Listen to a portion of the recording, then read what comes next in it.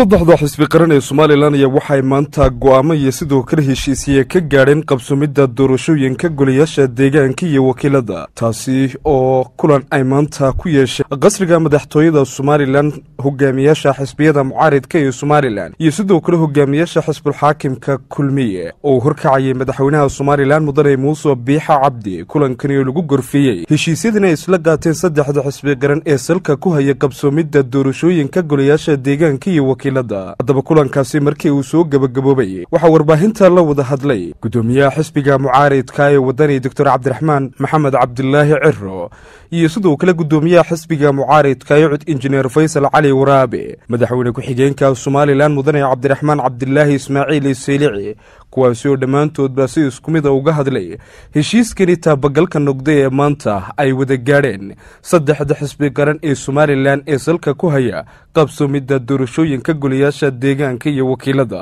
waxaana hadalladoodii ka mid ahaa. Ilaahay mahadle subxaana wa waxaanu maanta oo bishu labayo tobankii tahay bishii julaay ilaahay noo suurtogeliyey inaanu wada seexano oon isku raacno qodobadii hor taagnaa ee u baahnaa si doorasho wanaagsan oo xalaal inugu dhacdo in meesha laga saaro oo lagu heshiiyo muranka keeni jiray ayaan maanta ka heshiinay. Xamdigana ilahay baa leh subxaana wa tacaala annaga waxaynu ku caan ummad. Waxay iska rafatee marka u dambaysa danta ummadda ku midooba. Marka waxaa leeyahay shacbi reer somaliland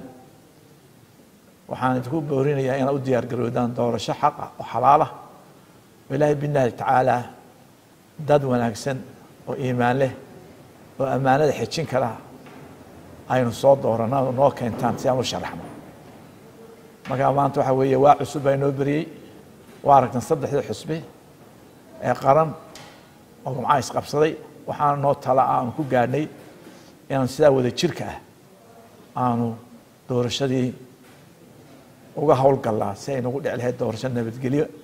oo xor oo xalaale. Markaa qof kastoo reer somaliland waxaan leenahay xil baa ku saaran nabadgelyo la ilaaliyo diiwaangelinta loo diyaar garooba.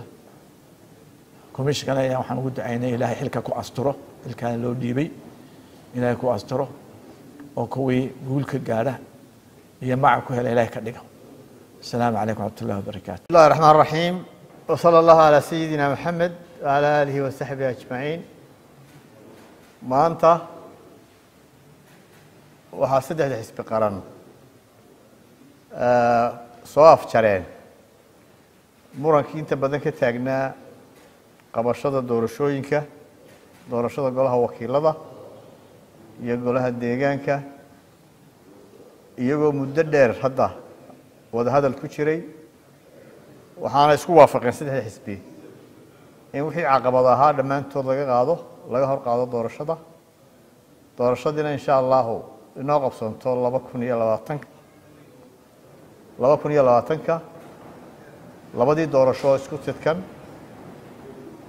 waxaan rajayneynaa si dhaksaana in jadwalkii doorashooyinka commissionku uu soo saaro insha allahu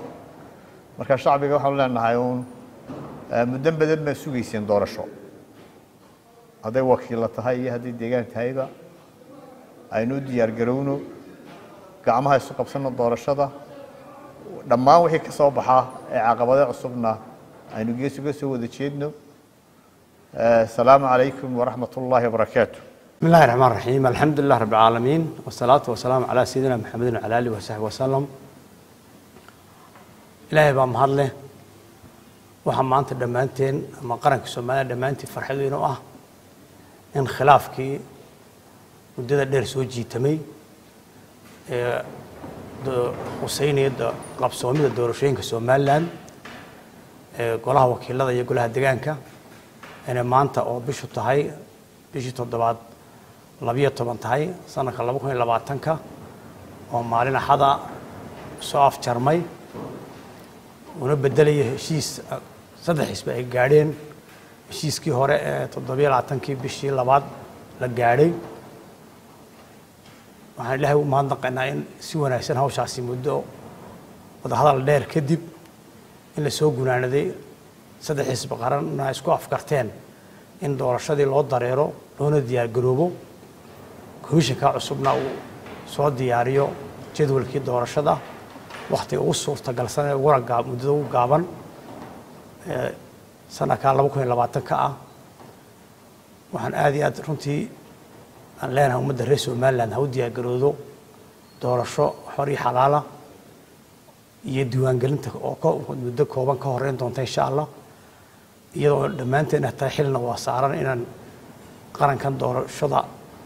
wuxuu ku iibsamaya qaranka somaliland ama maanta magac iyo martabad sharaf ku leeyahay. Doorashooyinka dimuqraadiga ah ee intaa dhowr ee somaliland jirtay aanan ka dhicin dalal badan oo la ictiraafsan yahay. Maantana waxaa halkaa magaceenu uu ku- meel maraa ama adduunyadu inagu majeerataa. Waa nabadgelyada iyo doorashooyinka dimuqraadiga dalka dhaca. Marka waxaan leenahay maanta olayaasha muddo dhaafka noqday doorashadoodii ha loo diyaargaroobo innagoo ku xisaabtamayna danta guud aan wada leenahay ma ku xisaabtamayna oo nin walba uu ka tego dantiisa yaree gaarka ah markay- teena guud hagaagto iyo teena gaarkiina hagaagaysaa marka waxaan leeyahay shacabka reer somaliland maanta laga bilaabo nin walba dantiisii gaarka meelaha iska dhigo. Hana u diyaargarooba inuu qarankan maanta doorasho xoro xalaale ka dhacdo oo si nabad u dhacda. Asalaamu calaykum waraxmatullahi wabarakatu